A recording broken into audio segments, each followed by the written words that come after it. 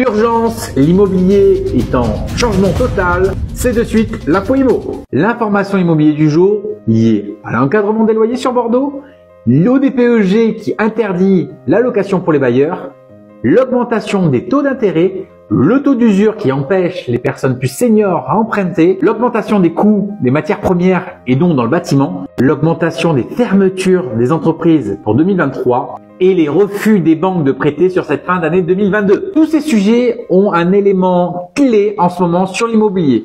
Il faut savoir que les investisseurs, à cause des éléments bancaires, sont plus au rendez-vous. De plus, les primo-accédants qui avaient des moyens limités sur les petits budgets, moyens budgets, ont une capacité qui ont énormément réduit à cause du taux d'intérêt qui a considérablement augmenté et qui peut faire réduire les capacités entre 20 000 à presque 50 000 pour des couples.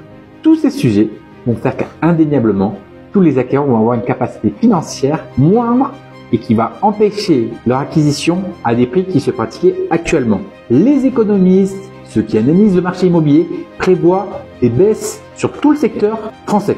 Si ces actualités immobilières vous intéressent, vous avez un projet immobilier d'acquisition, de vente ou même si vous avez un patrimoine locatif, je reste à votre disposition pour répondre à toutes vos questions. J'espère que cette vidéo vous a plu. Dites-moi en commentaire ce que vous en pensez. Ça m'encourage à continuer. Et à bientôt